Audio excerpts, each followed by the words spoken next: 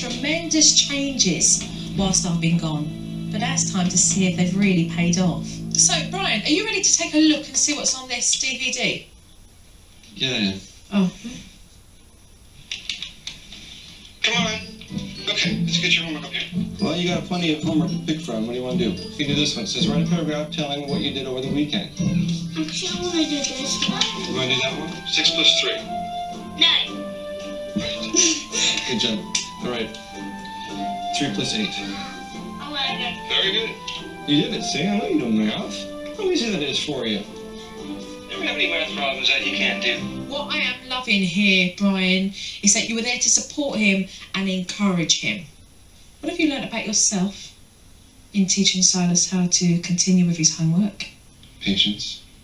Just to be more encouraging rather than being so down on him.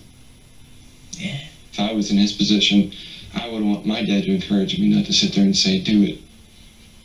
The pair of you are growing more and more self esteem. It's true. So I think the next scene is all about pretending with the kids. I remember.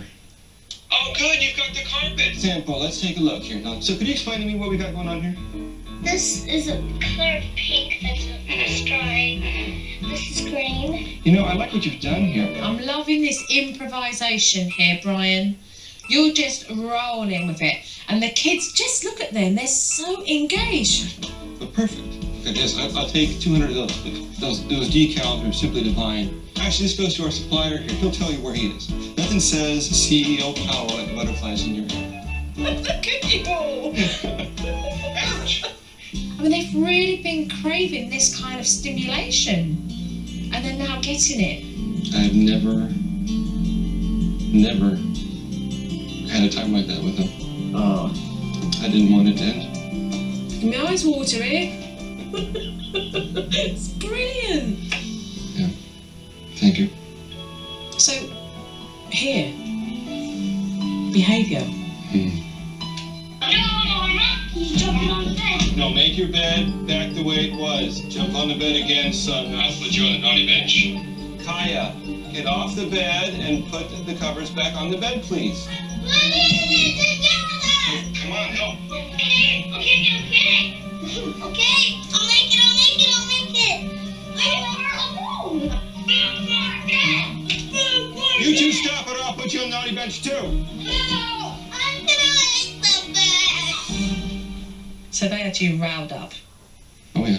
As soon as you feel like that, I want you to do this and go, what do I need to do to get what I'm trying to achieve here? So that you can shift how you're behaving. When you thought about that, come back and try a different approach. Kaya, get up there. Come on, Kaya. Leave her on. Do not talk to her. She's on the naughty bench. I'm not going. You leave me alone. Do not hit me.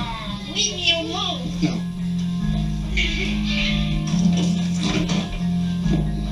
No, Stop throwing things. no, no, Stop. no.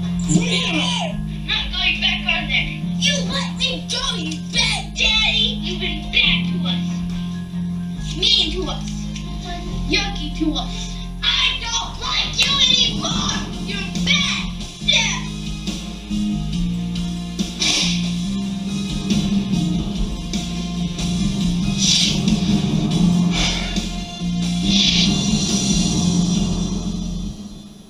What's going on with you and Ellie? I think maybe she's mad because we're not. All of us aren't together anymore. Who's all of us? Mom. I think she takes stuff out on me because she's upset with the situation. So you both got anger about the situation you've both been left in. And you end up taking it out on each other. But what it does is cause dysfunction here between you and your daughter.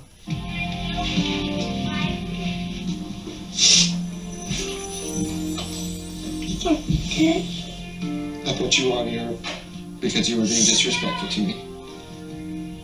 and I would like an apology. Thank you. What are you going to do to move it on so that you and Ellie have a better relationship together? What are you actually going to do as her father? Communicate with her. Open that communication up. Okay. You've seen the dysfunction there in the relationship, and now that needs to be resolved, okay? I'm feeling very positive about what I've seen. It's remarkable, absolutely fantastic. Well done. Can we hug? Well done. Brilliant, Brian. Absolutely brilliant. So, let's get cracking. Let's work. Coming up on Super Nanny, I know that in the past you've been let down. Dad opens his heart up to Ellie, but will she listen? Come here, come here. And when Jo takes Dad out of his comfort zone, let's feel uncomfortable. Just having everybody coming over. he starts to panic. Come on, Brian. Here. When Super Nanny returns